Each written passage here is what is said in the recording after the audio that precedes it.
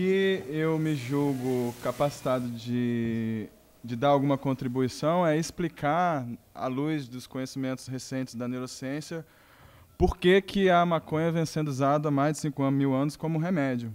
Do ponto de vista é, histórico, antropológico, social, é, medicinal, científico, não é exagero dizer que é, o procedimento de usar maconha como uma forma terapêutica é provavelmente o procedimento médico mais antigo e mais bem documentado da história da humanidade. E é um procedimento que ocorreu em várias civilizações diferentes e de forma é, sistemática e de forma muito bem documentada. É, e isso foi ressuscitado, inclusive, no século XVIII, quando finalmente os europeus foram na Índia é, conhecer um pouco mais sobre outros, outras formas de medicina. E aí um médico chamado Osho Ganesi é, um irlandês, ele sistematizou testes para vários efeitos que ele viu é, que a maconha produzia. Por exemplo, é, na época, os europeus tinham muito problema com tétano, cólera e, e, e mesmo com epilepsia, e ele verificou que o, os indianos usavam tranquilamente maconha para acabar com os espasmos, com a convulsão, é, coisas que os europeus estavam sofrendo e, não, e, e já estava sendo usado há milênios na Índia, certo? E aí ele sistematizou uma série de testes para tornar isso mais. É, para tornar o uso mais consistente, né, mais é, previsível e sistematizado, ele realizou uma série de testes com foco da medicina ocidental, nesse caso, né, e em poucos anos a maconha explodiu como sendo a maior protagonista do mercado de farmacologia desde do final do século XIX até o meio do século XX, quando ela foi proibida por motivos que não tem nada a ver com os efeitos farmacológicos dela, né? nada, a ver, mesmo. Então a maconha ela tem sido assim durante 5 mil anos da história ou mais história da conexão do homem com a maconha, ela é predominantemente, predominantemente entendida como um remédio. Só de 50 anos para cá é que se criou uma série de, de leis que não tem nada a ver, de novo, com nenhuma consequência ruim do uso médico da maconha. São interesses outros relacionados a a fatores é, geopolíticos e interesses mesmo, enfim, que é uma questão mais histórica que não é a minha seara, mas o fato é que a minha seara é a neurociência e o entendimento do, da história da medicina, e dentro dessa seara você procura na história é, algum motivo para ter é, acabado o uso medicinal da maconha, e não existe. Nenhum motivo médico, na verdade. Então, hoje em dia, o que existe é a possibilidade de usar a biotecnologia para gerar plantas padronizadas, de maneira que você possa usar diretamente a planta, que passa a ser, inclusive, um, uma nova maneira de você encarar a produção é, industrial de remédios que vai usar simplesmente energia solar e não vai causar nenhum poluente na natureza.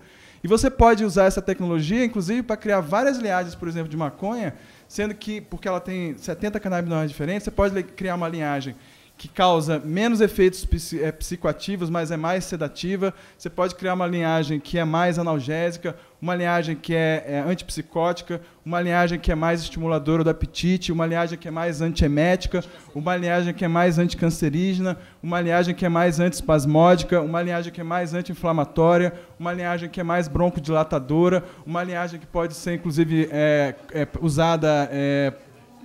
Enfim, Obrigado. Pessoal, pessoal. Por favor. Ronaldo, eu queria passar para você, porque você também tem uma observação sobre essa parte é. do uso da maconha medicinal. Né? Olha, se, se tudo isso que o colega falou fosse verdade, a, a Jamaica, a Jamaica teria pessoal, 100 pessoal. prêmios, a Jamaica teria 100 prêmios Nobel, né?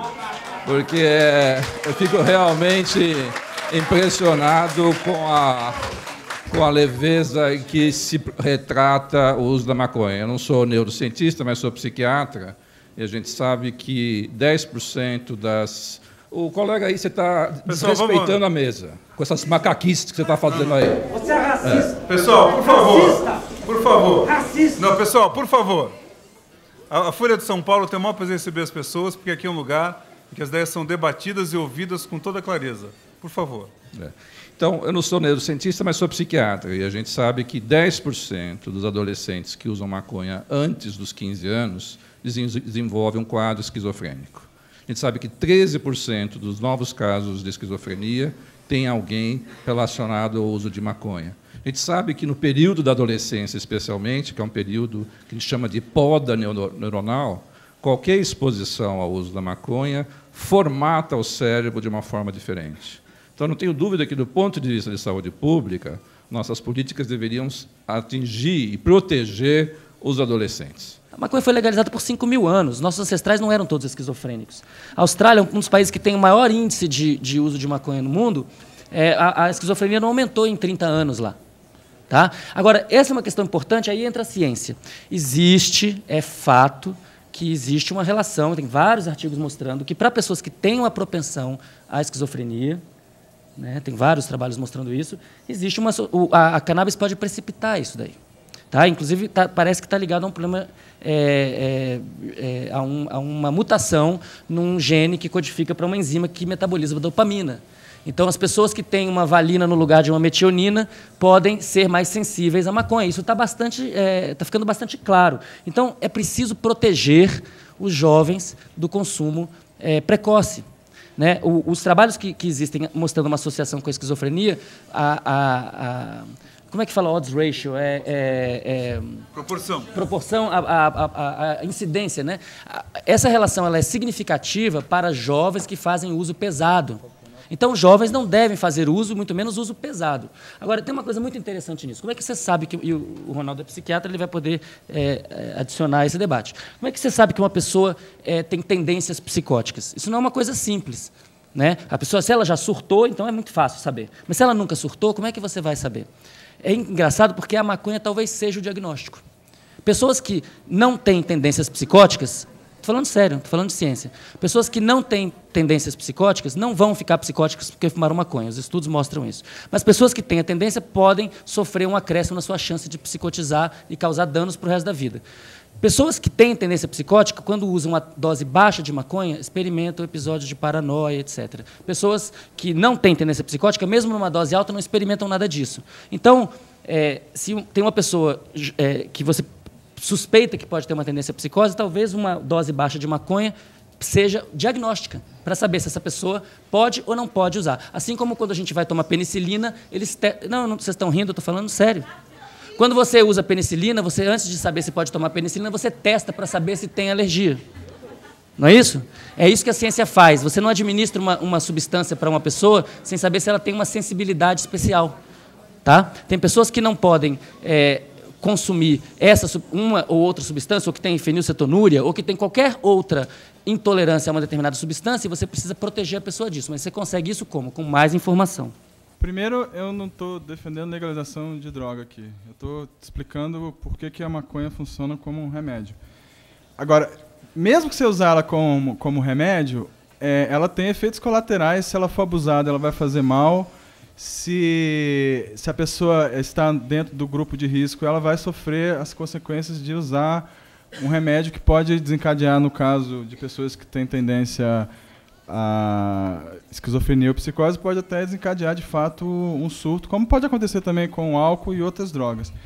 No caso da maconha, existe é, uma, uma. A maconha, eu sou, como cientista, eu tenho que confessar, eu sou um fã da maconha porque eu considero uma obra-prima da natureza. E uma das coisas que você pode fazer na maconha é balancear o conteúdo de princípios ativos de maneira que se aumente a quantidade de um antipsicótico que chama canabidiol, que reduz bastante, sobremaneira, a possibilidade de uma pessoa com tendência à esquizofrenia ter algum surto nesse sentido. Então, é, de fato, existe esse problema que o Ronaldo Laranjeira falou e seria muito bom que as pessoas assumissem ou entendessem que existem pessoas que estão sofrendo e que podem parar de sofrer usando essa planta, inclusive com o benefício de poder modificar essa planta para diminuir o grupo de pessoas que podem sofrer algum risco dessa. É, porque existe mesmo. É, tem grupos de risco para qualquer tipo de remédio.